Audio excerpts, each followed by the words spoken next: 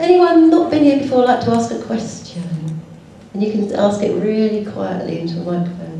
Oh, you've not been here before? No, first year. Oh, you got a loud voice, you shouldn't even Uh, what's, what's, have you got planned for your career in the future? Oh God, if only I knew what I got planned for my career in the future. Yeah, I don't know. Everything that everyone else wants to do, I suppose.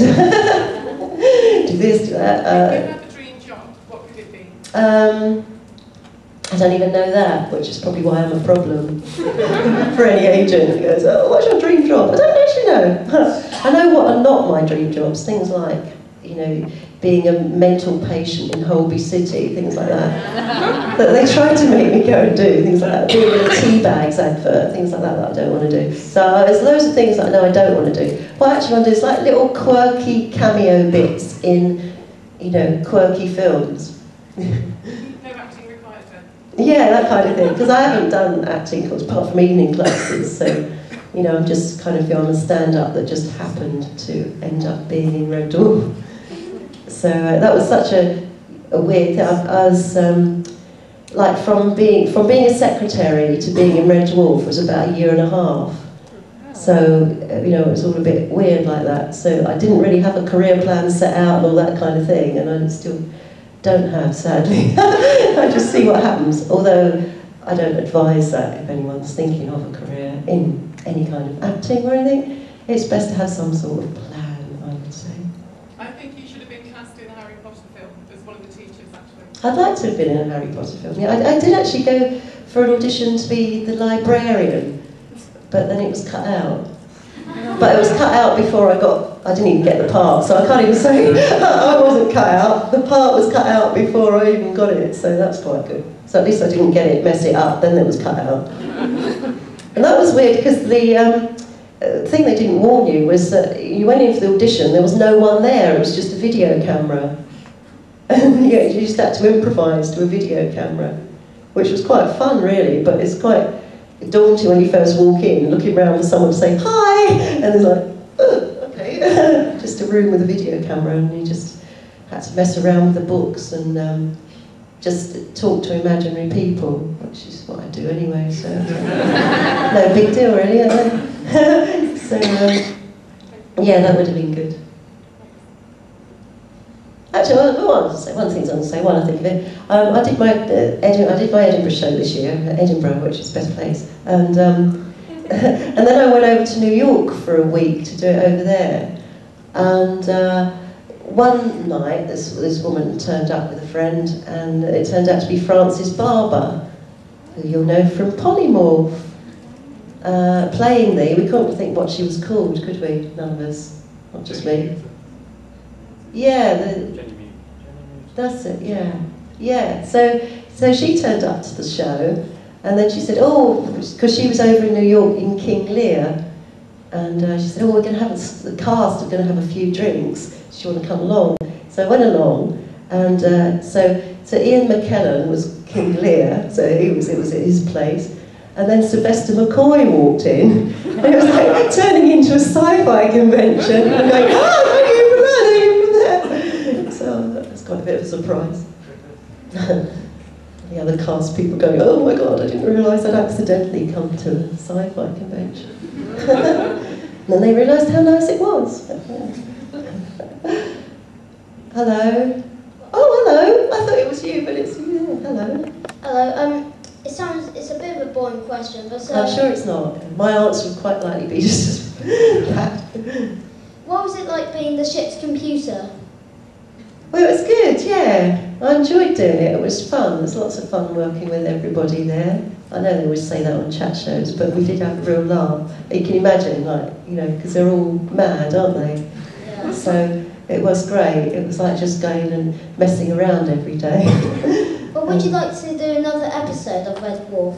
um, yes, I've had my hair a bit cut now, so I'd have to wait for it to grow. yeah, if they write another one, yeah, course, yeah. I would like to be in a Red Dwarf episode, but Well, you've almost got the right hair yourself now. They should, if they do the next generation. they threatened us with that one time when they, when they brought in, um, you know, the episode with Duane Dibbley and everything. Pardon? Yeah, thank you. He's my helper.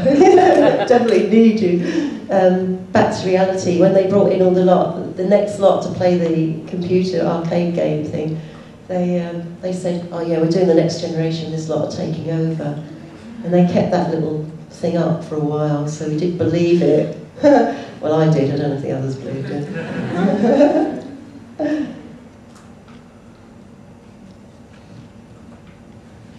Hello, you're a regular. Hi. How did your fringe shine scarlet? Oh, sorry, I were talking about my hair. Um, fringe go over to one side slightly like that? You grow a bit of lacquer. Um, I hope they went well, yeah. Um, I was still writing it, because I was writing it all year, but the uh, proper idea didn't come to me till two weeks before. So this is what you can't rely on things, you just keep writing it. And then the theme came together about two weeks before, which was kind of, why can't people just be nice to each other, but we can't, but we should try, but we can't, was basically the theme. so um, I think they went well, I'm not entirely sure. So I, my, my, actually, Normandy one, he said his reviews uh, ranged from one star to five star, which I think must mean you're a genius. to go from one to five. Mine went from two to four, so was like his was more extreme reaction. Mine was just in that thing. So um, often it depends what night reviewers come as to how your show is. And also, the, my, my show was in this venue called the Underbelly, which is a good old grungy sort of hip type of venue. But it's also it's the vaults of the Royal Bank of Scotland, which they don't even use anymore. They don't even put paper in there anymore, yeah, because it's too crappy. so instead they rent it out for shows during the Edinburgh Festival, and it's like boiling hot as you're in like a little cave, and there's warm water dripping down, which has been there for years, quite likely. And uh, there's people, when you're doing your shows, people's there with bits of paper like this, because it's so boiling hot in there. By the end of a month, all the commu- cumulative, added up um, heat from the first week is still there, because there's no like, yeah, there's no air conditioning or anything. So um, with all these people going like that, it's a bit like strobe lighting after a while. You think, whoa! It's like everyone's moving around. But um, no, I think they I generally went well. I think I got some really nice reviews and good comments. I think a lot of people say they don't read reviews, but I think it's good because sometimes they do make valid comments, and it's you know, and if you're going to believe the good ones, you've got to believe the bad ones as well. So you know, just take them all with a pinch of salt, really. Would that not affect your performance? Because do you, if you're coming to a line, you know, somebody's giving you a bad review over, does that not Yeah, stick in your head yeah. harder to perform? Sometimes you miss it. Tell you what's an annoying thing. Sometimes, like one one reviewer wrote because a lot of my act is one-liners, and they like you know just do all the one-liners. Uh, she said this. Uh, some of them you think, can you really write? Because they're writing a thing like what I did on my summer holidays. You know. Then she said this. Then she said that. Then she said that. You know, and you think that's not really a review.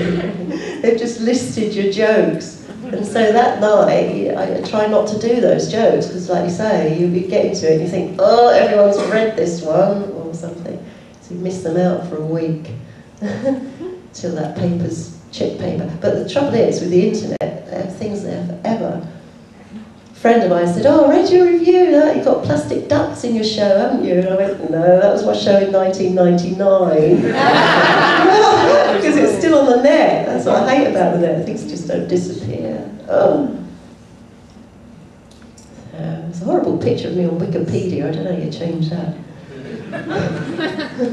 Must be going, mmm, like that.